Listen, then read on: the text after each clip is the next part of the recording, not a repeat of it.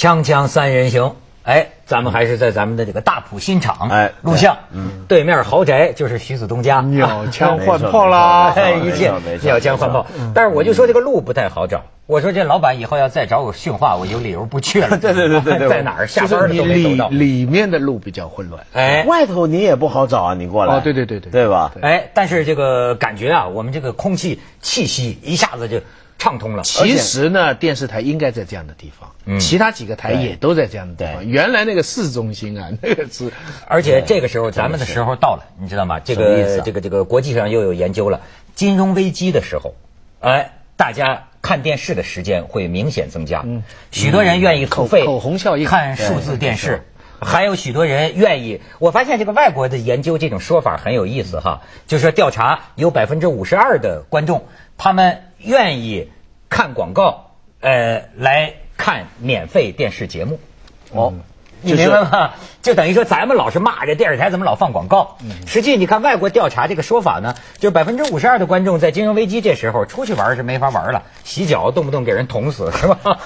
然后在在家里看电视，就是说我宁愿忍受看你电视台这广告，我为了换取免费看免费电视节目。但是我觉得可能情况也会相反，在中国，因为我们的广告跟外国不一样，我们常常有那种长达几分钟的 那种什么。胸部下垂，什么的都那一类广告，对不对？又或者你记得去年呃前去年还是今年年头给揭发了一个吧，就一个人，你记不记得？这个人长得年纪也五十多岁，斯斯文文的，他出现在各类广告里面，在某一个广告他是个北大教授，在另一个广告里面他是什么极优权威，在所有这些广告要找权威的时候就找这个人，他全是演员啊但这个广告太多了长得。像大师。对，你如果呢，没错，样子有大师像。那假如呢，我们比如说所有人都在家看电视的时间多了，观众就会特别注意这些事儿，没错，而且厉害。我认为 我们应该向很多家这个广告机构，包括电视台打官司索赔。为什么？很多性性方面的这个热线广告，它抄袭的都是《锵锵三人行》的节目形式。啊，你知道吗？半夜十二点，我没见过哎呀，我在内地经常看，就是这么三个，唯一的区别是三个人全面向外，穿着白大褂。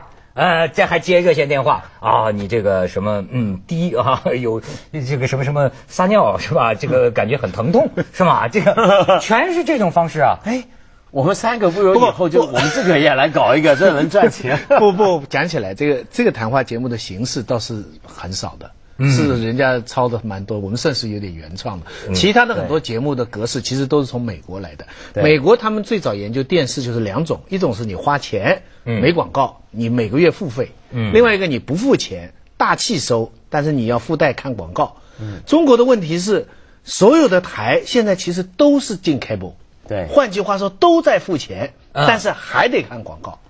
嗯，你看，所以这这个情况是一个我重复掉对。还有一个高清，你知道吧？嗯高清这个东西啊，急死人了。你你看高清吧，我有了高清以后，两大坏处。嗯第一大坏处，有了高清了，其他就不清了。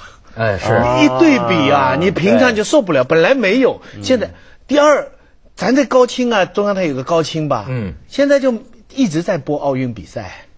啊，那好啊，一直在播奥运，它为什么他没什么新的节目啊？所以这个高清台一直在反反复复，那个那个，我到呃很多机会可以重复他们射箭啊什么，节目没跟上。这个香港现在有十几个台是高清了嘛？我这高清将来坏透了。高清看了以后，其他的节目反正我知道我们女主持人都很反对这事儿。对对对，是吧对？那这脸上汗毛孔都看得出来啊！没错怎么画你得涂多厚的粉，他也看得出来。而且你刚刚说那个情况，让我想起来，这不就等于是一种电视上的形象工程吗？就不是很多地方政府盖一个什么会展中心、大博物馆什么，但里头都空的，不知道放什么好。就东西弄出来了，高清这个，但内容不晓得填什么。不是人家持久持久生产力总会促进这些希望吧。呃，不是，他现在是一个铺铺铺路的阶段，还没到那种正式的、广泛的、大规模的放。但我估计到大规模放的时候啊，他就节节目的片源就解决了。嗯我觉得你说广告这个，我是觉得啊有些时候说挣钱也要挣的这个 怎么说呢？以人为本，也不叫以人为本。我你比如说，我觉得就像你说的，有些电视台进有线，那么说实在话，我我觉得那有些地方有线，他在把你的广告时段覆盖。去卖他的广告。当然这也是现实，对吧？我也不不说什么。可是我觉我我有时候看这个有有有些比赛啊，或者看什么，我看的生气是什么呢？您已经赚这个钱了，可以了。但是你不能把你的广告一直延长到覆盖了人家的节目、啊，对对对对对吗？比如说我尤尤原来其体育比赛，哇，那他他体育是吗？比赛这样，我原本人家是两分半的广告时段，对，您拿您的广告把人家盖住可以，但你不能盖到三分钟、四分钟，你这个节目都都没有了，赚钱有有有有点底线吧？不过这个啊，我倒不太担心。为什么？因为我觉得中国现在有时候我们觉得一些人家做商人说老说没良心啊什么，这个东西啊是商业规则会慢慢自动调整的。为什么？比如说像现在这样子，我们看体育比赛的，老看到这种节目比赛内容都被广告覆盖之后，消费者或者观众的反应是什么？是恨那个广告，恨这个台，就反而更升起了对广告的抵触情绪。嗯那他这个广告等于就不灵了。嗯然后如果慢慢慢慢这么下去，他迟早会要自我修正的。哎，咱们还是那个在在呃深圳啊、广州这里，他们不是都放香港的电视吗？嗯，其实蛮屈辱的，他常常插，就是、哦，因为敏感嘛。不不不是敏感，有些就是广告，他就用一些其他的，然后那个质量又又很低。那我们也是，我们这节目老是被那种性热线啊，啊是吗或者安全套，你没见过吗？《锵锵三人行》节目播出时段，好像听说很多人这还这反映说这我倒不信索性做这跟代理这跟咱们本来的形象也比较吻合对，做嘛。做避孕套代言人，没事咱不能不不掏不不聊这个了吗？这这咱聊点真的关关系到国计民生的这个事情，人民群众的安全，还关心啊你不要以为香港你以为安全套就不关心？你不要以为香港就多么靠谱啊！最近香港，我给你看看这照片，来，那香港悬赏三十万抓人呢，看这是个胶瓶啊，两个胶瓶里边装着腐蚀性液体，从旺角闹市区高楼上扔下来。你再看下边，这姑娘，你这正在大街上逛街呢，呼啦天上下雨了，然后眼看着这衣服啊，一个小洞一个小洞一个小洞，抢水甚至烧灼皮肤。你再看下边，其实我一看，这有些可能这些也是我们大陆的游客吧？你看这家伙，这个膀子给脱的，然后就说是这个消防人员来了之后，拿这个水龙头哗就冲啊，然后一说在这个地方，说是去年已经发生过。十二月份，也有人干过这个事儿，这我就不了解。香港闹市区这个高楼上，为什么楼顶上有人往下扔这个枪水啊，还是腐蚀性液体？蓄意的，硫硫酸嘛，就是这是应该是蓄蓄意的。那他对谁呢？冲谁呢？就是呃对社会嘛，就是对啊，这就是所谓的反社会嘛。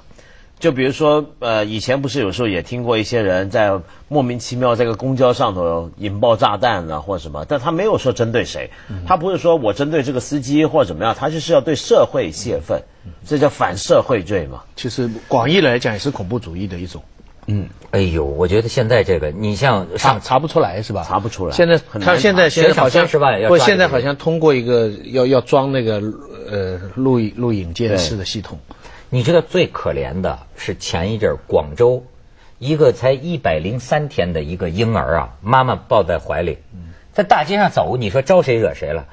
高空半块砖头掉下来，吧唧把这孩子给砸死了。哎呦，然后逮着这孩子了，这孩子一说呢，还是个未成年人，十他二三岁，是有意丢砖的，他不是有一小孩儿吗？在楼顶上就往下扔扔砖头，砸不知的这小孩。轻重，我觉得人一说这未成年人，这法律怎么处罚他，还是个一个一个问题。你但是人家一百零三天的孩子不能赔命你想，我觉得妈妈这个得崩溃了吧？这得。锵锵三人行，广告之后见。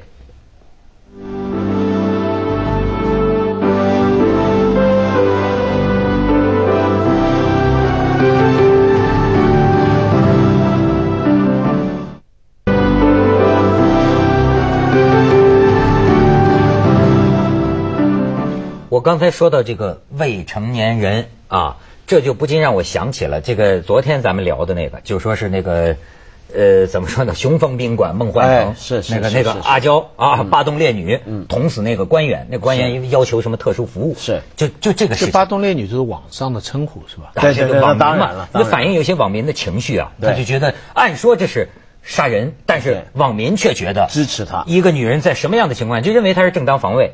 当然，这个最后法律意见怎么样，咱还不说。嗯。但是我就说这件事儿啊，那天徐老师就要为这个洗脚的证明，对。说广大洗脚的员工，他们还是一个正当。就像就像这个发廊有很多问题，嗯。但是也有很多人是理发师，对。对不对？对可是呢，我给在两方面都要说，在中国大城市我不敢说了，我报道过很多案子，往往那边儿这个贵州的习水，或者什么浙江的什么丽水什么的，这么一些县城啊，或者这么一些地方，人家说了有一种书包妹的现象。什么叫书包妹？书包妹，你比如说啊，煤老板就是可以包一个书包妹，其实是卖淫。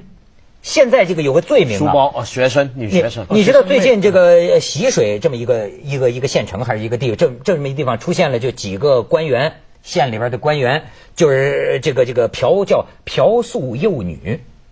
可是你知道这个呃，然后那个浙江丽水说什么碧湖中学也出来了，就是说十几岁的女中学生，呃，未成年人，这按照咱的理解就算强奸吧。嗯。可是实际上，要不说我就说这个未成年人也有意思，他往往是怎么个故事啊？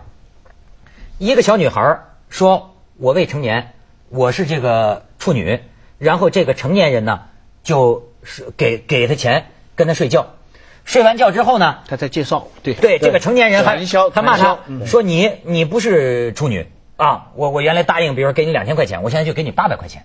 这女的把这八百块钱花完之后，这女孩儿又会想到打她同班同学的主意，把她同班女同学介绍去给这些成年人们。当然，咱不能说都是官员，但有官员，也有各种各样的老板呢，或者是什么。像习水这个地方，就感感感觉记者因为采访这个所谓的嫖宿幼女案，但是呢，在这个周围这儿观察，这就像徐老师讲这个情况，有些旅社呀，有些什么那老板话里话外的就跟他讲是最近风声比较紧，嗯，呃，等过了这阵儿，我们还是有的，嗯。那么你说，就这种女都十几岁的这个这个这个孩子，嗯，现在就是他们这列列举太多了，你看啊。广东雷州有这么个政协委员，小学教师涉嫌强奸班上的学生，当地刚一起小学校长涉嫌强奸十二名女学生的案件，然后什么浙江临海捣毁一卖淫窝点，呃，市人大代表王宗兴，市气象局副局长池全胜涉嫌嫖幼，就是简称嫖宿幼女。你说一起一起一起一起，现在这个特别多呀。这是法不够重，我觉得这个中国这个这个这个未成年的这个性这个东西概念不是很明确，是不是啊？它法不够重。哦，我觉得还是社会环境的问题。比如说，我举个例子，前几十多年前的时候，日本有新现象，现在已经变成一个见怪不怪的。就大家都听过援交嘛，啊，援助交援助交际嘛，对不对？这个所谓的援助交际指的呢，就是说有一些的，比如说说援助交际，他这头就掉下来。对对对，这个援助交际呢，就比如说一些女学生，去跟一些中年男人或者一些男人，比如说给他钱，他就提供性服务。那么日本的援助交际呢，主要是因为女学生呢，比如说受到消费的诱惑，就比如说通常是想买名牌包啊，你知道日本很多这种各种各样的消费诱惑陷阱，他要满足自己的消费欲望，然后想挣点外快。嗯。那么，但中国呢，你发现很多这种事儿的发生是怎么样？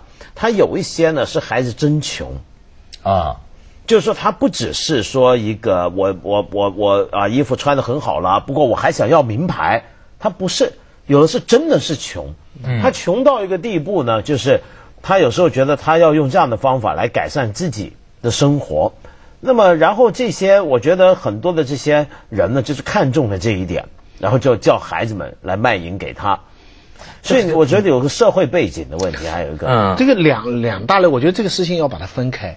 一个就是年龄上你这个幼女这个问题，这个跟性工业的不不不合法化、难以控制其实是两回事。嗯，不管什么情况，你哪怕就是谈恋爱，嗯你也不能跟个十五岁的人、十四岁的人，嗯，这个是要罚的很重。中国在这方面好像不，好像他把两者混起来了。现在这个有争议，就是说这个嫖宿幼女罪跟强奸罪有什么分别？你比如说，有人就认为你未成年人，你只要跟他发生性关系，那么你是强奸呢？可是你知道有些他不叫强奸罪，他就是应该是你跟未成年的人发生性关系，这个本身就是一个罪。香港是这样。香港就是这样，这里边有三个东西概念有点乱，一个是强奸，就是你强行的发生关系，那不管什么年龄你都是一个罪。另外一个呢，就是你跟一定年龄之下的人，不管你是愿意不愿意，当然更不好。就算他是愿意，你钱啊或者怎么样，就算他没有钱，他甜言蜜语，你跟一个这样年龄之下的你就犯罪了，你才知道这话。嗯。第三种是所谓卖淫嫖娼。对不对？是那在因因为中国这个第这个第三种在很多国家是它有一定的法律限制，它有一定的合法性的。中国是因为都是非法的，都是违反治安条例，所以把这个本来是轻的那个法跟另外两个，特别是跟中间那个幼年的混起来。你，你知道，就是说混起来以后就呃产生了有个别案子为什么引起争议啊？就是就是办案的人说，我们也是依靠法律呢，就因为什么呢？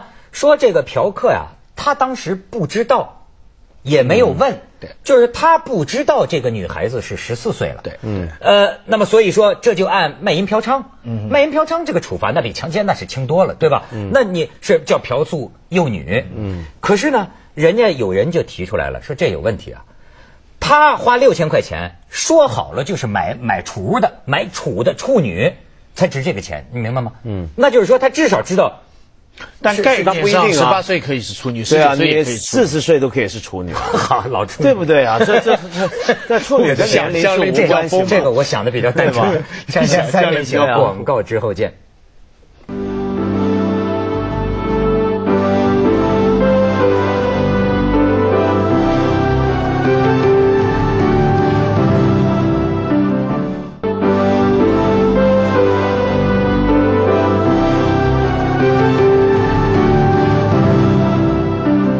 林文文道一提醒我才知道，四十岁也可以是处女。对啊，这是两个概念。不过这里还有一个更麻烦的问题，就是我们现在是就像子东讲的，就是几个东西混起来，还有个什么东西混进来呢？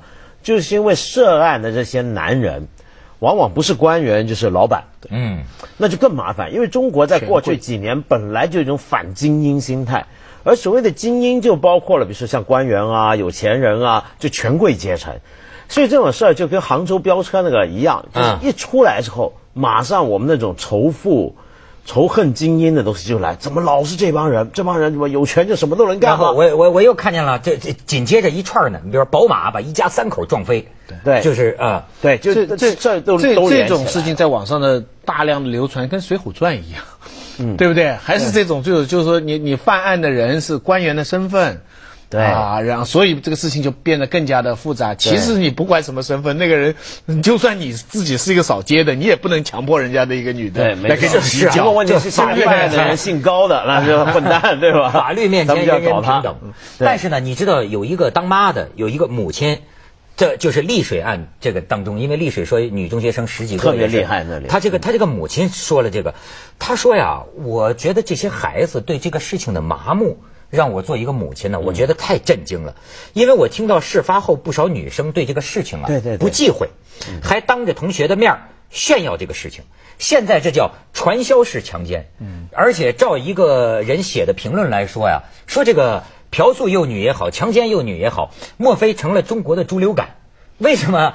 他说头一个也许是一个成年人对一个女孩儿，可是接下来为什么像传销啊？接下来这个女孩儿就开始拉拢别人但它是概念不同，不不能叫传销是强奸。它既然是传销式，它就不是强奸。诱奸，你可以说是？对，因为他是花钱的，他们本身这件事情上，你看这个概念就是这种可以叫诱乱我跟你说，洗洗洗水那个我知道，是罪，但不是那个罪。洗洗水那个我知道，就是一对十四岁的小情侣、小鸳鸯，这俩就在校门口兜截这个女生，弄到角落里，或者打你，或者威胁给你打毒针，或者什么拍裸照，然后逼着你去陪这个这个叔叔睡觉，嗯，然后拿来这个钱呢，他可能拿了大头，你明白吗？顺手甩给这个女孩嗯一点小钱，那么但是但不是那个叔叔强奸，你的强奸的话是那个是他们在胁迫，那个叫集团，这个叫怂恿组织。香港这个是判的最重的，这个就是你组织卖淫。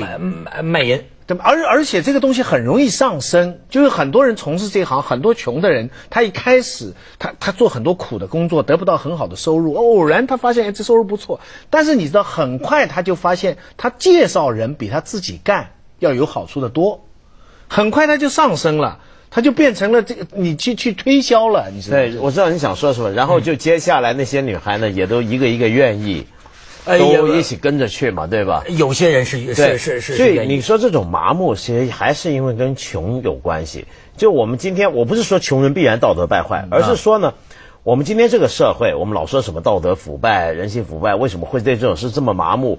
就是因为我们没有什么别的剩下来的。什么意思？就是说，坦白讲，今天在中国这个社会，你去问一个人，你最在乎是什么？呃，名誉，呃，诚实、善良、正义，这些说出来，你是自己一边说一边笑的。就我们今天真正在乎的，就只是活下去，活得好。对吧？就是这样。那所以在这个情况下，你说出现一种这种事儿，过去我们觉得这是事关尊严的东西，你怎么那么轻易的、那么麻木的觉得这个事儿，我就拿了叔叔钱陪他睡，这有什么了不起？那就是我本来跟班上同学睡白睡了。对啊，我还我还还有钱赚，我在爸爸妈妈那里也不必这么受气了。对啊，他甚至因为他。我们真的没有什么，这就是所谓的价值真空。我们没有什么别的了。不不，你是从道德上讲，我还是从法律上来讲。我总觉得是有各种各样不同级别的错，各种各样不同级别的罪。你因为一开始就把小的东西定得很大，所以他就不分这些东西。对，我懂你意思，没有矛盾。因为我讲的是为什么他们会麻木这一点，就为什么会他会麻木？为什么这些呃官员也好，权贵也好，他会觉得这么做？他是觉得可以的，除了法律原因之外，你看啊，就是我我看到有一个自述，就经历过这个，大概是十二三岁还是十十四岁的小女孩，她就说当时他把我扑到床上，我就哭，我我就闹，但是最后还是给他干成事了。那么你要这么说，算强奸对吧？说完了之后，他给我五百块钱，我又接下来为您播出拿着去出去走向二零一。你看他这个孩子，他这个，那你没办法，还是强奸。如果他提出控告的话，如果。